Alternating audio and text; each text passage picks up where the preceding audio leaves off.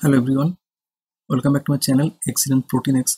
In this tutorial video, I'm going to talk about ubiquitinated and de-ubiquitinated p53 functions and pathways as well as MDM2 mediated p53 ubiquitination. Let's begin. So as you know that the p53 is a tumor suppressor protein and in normal case the expression of the p53 in the cells it's very low but when DNA damage occurs, so upon DNA damage, P53 get activated and it uh, activate other proteins like P21 and other um, apoptotic proteins and um, it under the cell undergoes apoptosis as well as the cell cycle arrest occurs.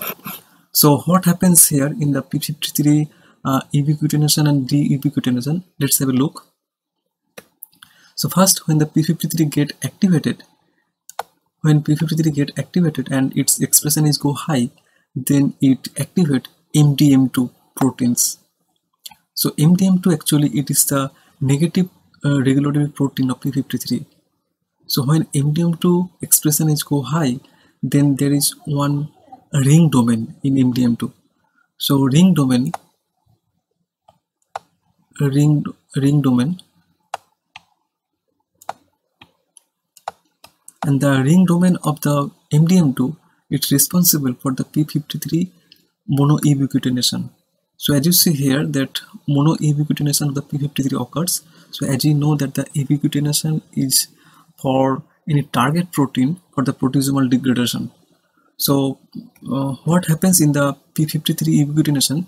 Actually in the p53 normally the ubiquitin is a small proteins around 76 amino acid and it attaches in the lysine residue.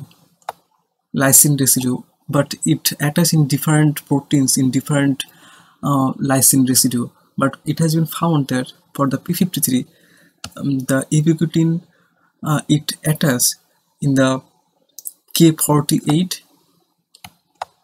and k29 in these two lysine residue so first is poly first the monoubiquitination occurs. So ubiquitin attach in this amino acid residue.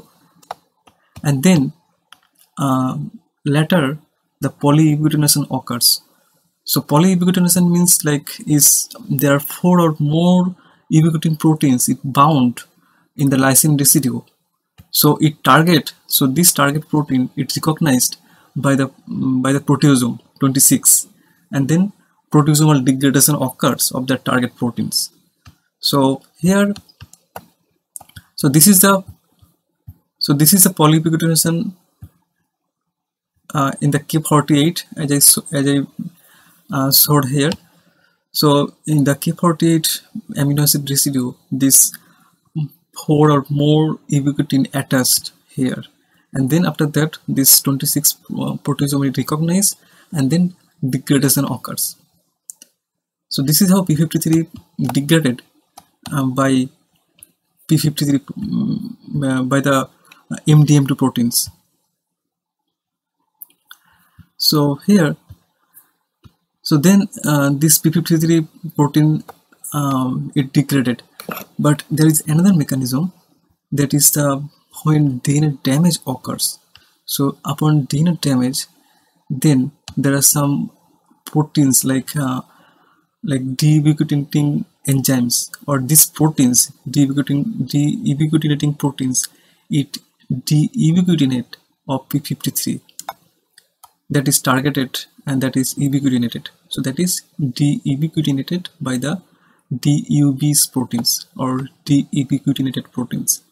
And consequently this p53 is phosphorylate and activated so also there are some acetylation occurs um, acetylation of the p53 occurs for um, the activation of the p53 and then p53 it uh, it regulate the transcription of the p21 so as you know that the p21 is the um, in the p21 uh, um, in the promoting um, in the factor there is a p53 binding site so in the P21 promoter there is P53 binding site. That's what P53 it uh, regulate P21 transcription. So then P21 is get activated by the P53 and PT, P21 it inhibit uh, G1 G1S cell cycle progression. So cell cycle or um, cell cycle arrest occurs into on G1S uh, in this checkpoint and also p53 when get activated then also it activates other proteins other apoptotic proteins like BAX and also PUMA. So PUMA is the p53 upregulated modulator of apoptosis. So those proteins are when when uh, activated, then cells uh, goes undergoes uh, for apoptosis. So this is how p53 um, works. So the main theory behind it that that when p53 get activated by the DNA response and when its uh, its expression is go high then the MDM2 proteins MDM2 proteins that get activated.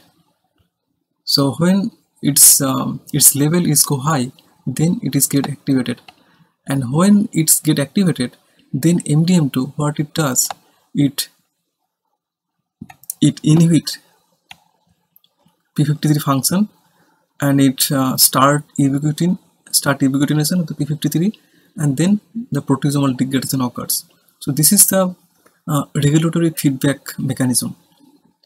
And again when this p53 when um, it's uh, degraded or is ubiquitinated and again when DNA damage occurs and then this kind of DUB proteins it de-ubiquitinate the p53 and it get activated again.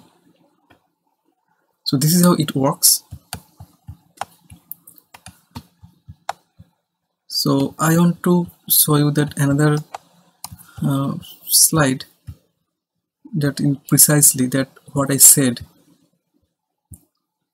that here this is the normal condition. So in the normal condition uh, the MDM2 content ring domain and this ring domain is responsible for the p53 ubiquitination so p53 poly ubiquitination occurs and proteasomal degradation occurs on p53 but when uh, stress occurs or like DNA damage occurs then p53 get activated by the de-ubiquitinating enzymes or proteins. So then p53 get activated and MDM2 this protein's uh, function is lowered. So again p53 it's um, uh, it it block the cell cycle and cell undergoes apoptosis. So again another again the next followed by the p53 again is um, is depletion occurs and then again MDM2 ring domain it's um, of the MDM2 ring domain it start ubiquitination and then degradation occurs again. So this is um, this cycle it occurs like in the feedback mechanism. So this is how this MDM2 and uh, P53 it it uh, works together. So this is all about this ubiquitination and, and de-ubiquitination of the p53 so i hope this video will be helpful. If you like this video kindly hit the like button share it and please subscribe my channel. Thanks